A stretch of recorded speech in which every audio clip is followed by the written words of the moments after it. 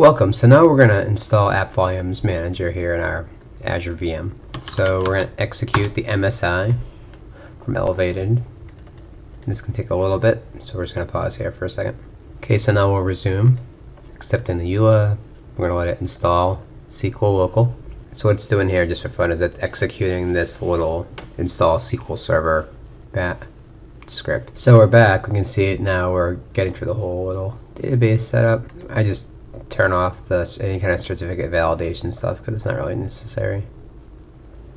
Because again, it doesn't really matter. We're just doing this all from a testing scenario. So as this is an Azure, we're going to select Azure as the type. We're going to click install. And now we're going to go through the whole app volumes installation process. You can see here the install still kind of humming along. Things are going pretty well though. One thing I do like to do while I'm waiting is start setting up the share. So while this is installing, we do is we go into hypervisor, in-guest VHD, and we're gonna drop this right in there as that's the mode we'll be using when we do our setup. Pretty simple. So we're just continuing to let this kind of do its thing.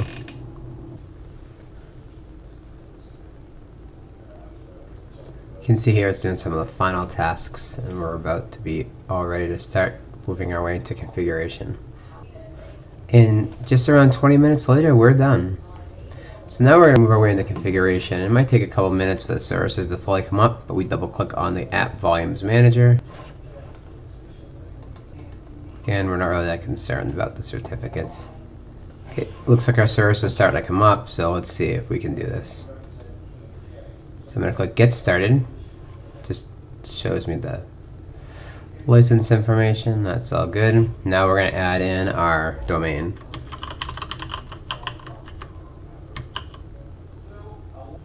Let's grab our LDAP base here. Okay, we got our base in there. Now we're going to put in our administrator account.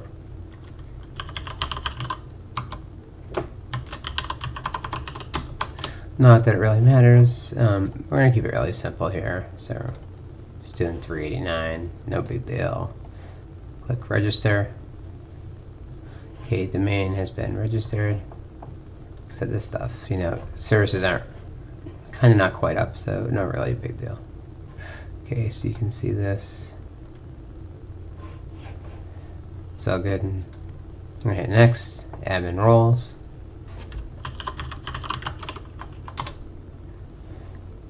Yep, the only group I have in here right now is the test domain. We're going to go next.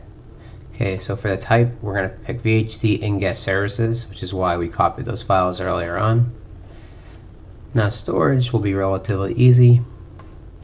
We're going to click Add File Share. And let's grab that file share info. Now my preference is I like using a SAS key here. I'm going to click Search can see it sees that. I'm going to click add. Yes, please do add. So that has been added.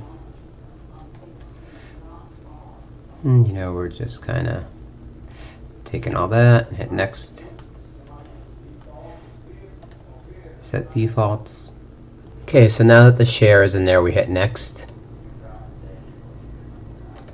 Set defaults, import those volumes data stores are now saved.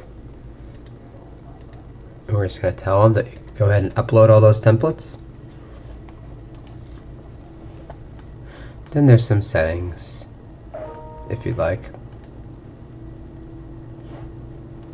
Hit save. And now we are done. From here, and um, like I said, these services are not being fully up, don't worry about that stuff too much as I had to resize my VM, which is why we're seeing that stuff again. But yeah, it's really just that simple. When we get back, we'll talk about setting things up, configuring an app stack.